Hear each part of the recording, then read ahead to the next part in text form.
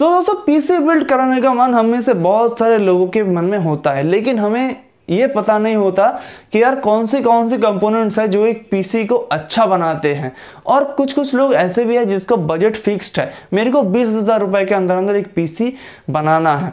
तो दोस्तों, बात करेंगे उन्हीं बारे में कि आप बीस हज़ार रुपए के अंदर अंदर क्या क्या चीज़ लगवा के एक अच्छी पावरफुल पीसी बना सकते हो। बहुत सारी चीज़ों के बारे में बात करेंगे और बहुत ही इंटरेस्टिंग होने वाला है ये वीडियो अंत तक देखिए वीडियो को। तो दोस्तों don't waste any time let's get started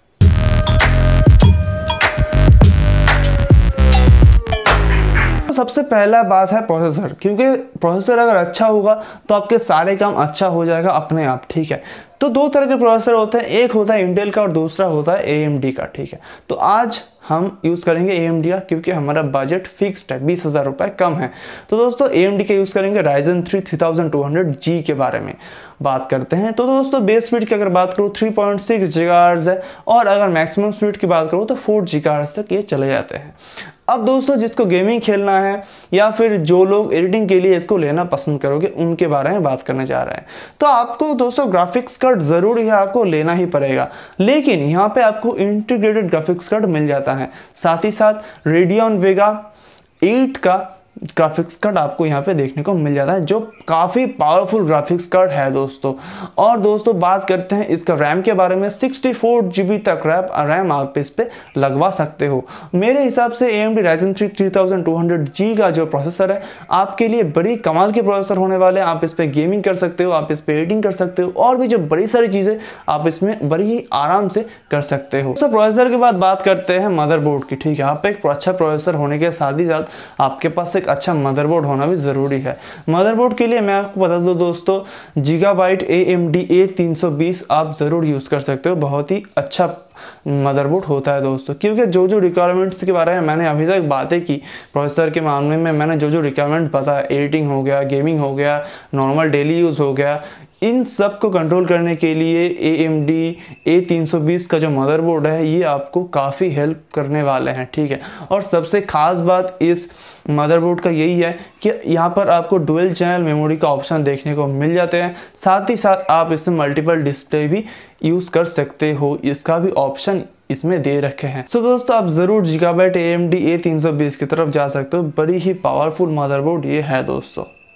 so so, दोस्तों आप जिस चीज़ पर बात करेंगे उसका नाम है रैम बाज़ार में आपको काफ़ी सारा रैम मिल जाएगा four G B eight G B twelve G B sixteen G B लेकिन मैं बताऊँ दोस्तों मिनिमम आपको एट जी बी चुनना है। अगर आपको एक अच्छी पीसी बनाना है तो अब आप कौन से ब्रांड का ले? मैं बहुत बताऊँ दोस्तों मिनिमम हाइपर एक्स फ्यूडी का आप ले सकते हैं या फिर वैगन एल का आप ले सकते हो।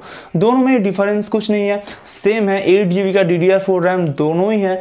बत्तीस सौ की पावर आपको दोनों में ही दिख जाएगा। लेकिन वैगन एल का एक खास बात यही है कि इसमें एक एलमिनियम कोटिंग दे रखे हैं, जिसके कारण ये हीट बिल्कुल नहीं होता है। और अगर होता भी है, बहुत कम होता है, वो आपको स्पीड में कोई भी फ़र्क नज़र नहीं आएगा। सो आप वेगन एल फिर हाइपर एक्स फ्यूरी की तरफ़ दोनों में किसी को भी आप बाई कर सकते हैं। बहुत अच्छी रैम है दोस्तों। सो so, दोस्तों आप बात करते हैं स्टोरेज के बारे में। ठीक है कुछ लोग सोचते हैं कि एच लगाए जिसका नाम है हार्ड डिस्क ट्राइप्स कुछ लोग सोचते हैं कि भाई एसएसडी लगाना है जिसका नाम है सॉलिड स्टेट ड्राइव।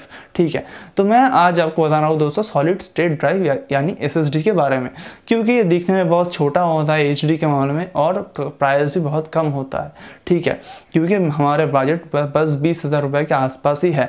तो हम यहाँ पे लगाने वाले हैं H P S S D S seven hundred को जिसका मार्केट प्राइस है चौबीस सौ के आसपास। और एक सौ बीस जी बी तक आप इस पर स्टोरेज देख सकते हो। साटा को लेके हम चल रहे हैं यहाँ पर। तो दोस्तों एच पी के बारे में और कुछ तो नहीं बोलना है बहुत ही बड़ा एक ब्रांड है तो आप ज़रूर H P S S D S seven hundred की तरफ़ जा सकते हो। बड़ी ही अच्छी एक स्टोरेज क्वालिटी आपको ये प्रोवाइड कर देगा दोस्तों और बड़ी ही फास्ट होता है S S D H D D के मामले में।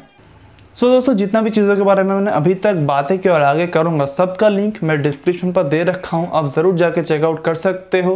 तो दोस्तों अब बात करते हैं कैबिनेट के बारे में ठीक है? क्योंकि इन सब चीज़ों को फिट करने के लिए आपको कैबिनेट की ज़रूरत होगी। तो मैं यहाँ पर यूज़ करने वाला हूँ फ्रॉन्टेक की तरफ़ से आया हुआ है कैबिनेट जिसका मार्केट प्राइस की अगर बात करूँ तो ग्यारह सौ रुपये के आसपास है। और यहाँ पे आपको पावर सप्लाई नहीं मिलता, आपको अलग से पावर सप्लाई यहाँ पे देना पड़ता है। पावर सप्लाई के लिए मैं यूज़ करने वाला हूँ जेप्रोनिक्स का 450 वाट की पावर सप्लाई जिसका मार्केट प्राइस है एट नाइन्टी नाइन रुपीज़ आप उसको यूज़ कर सकते हो और आप बना सकते हो एक अच्छी खासी पीसी एक पावरफुल पीसी अपने लिए या फिर अपने घर वालों या फिर किसी और के लिए। तो दोस्तों, यही था आज का वीडियो। आई होप इस वीडियो आपको अच्छा लगा होगा इन्फॉर्मेटिव लगा होगा। अगर वीडियो अच्छा लगा तो वीडियो को लाइक करें। चैनल पर अगर नए हो तो चैनल को सब्सक्राइब करके बेल आइकन को दबा के ऑल पे कर देना, ताकि मैं जब भी कोई वीडियो अपलोड करूँ नोटिफिकेशन सबसे पहले आप तक पहुँचे। कमेंट करके बताओ वीडियो कैसा लगा शेयर करो अपने दोस्तों के साथ और उनको हेल्प करो एक अच्छी खासी पीसी बिल्ड करने के लिए। तो दोस्तों, फ़िलहाल वीडियो में इतना ही। देखने के लिए आपका बहुत बहुत शुक्रिया। मिलते हैं आपसे एक नया वीडियो में, नए कोई टॉपिक को लेकर। तब तक के लिए जय हिंद, वंदे मातरम, भारत माता की। जय। Stay home stay safe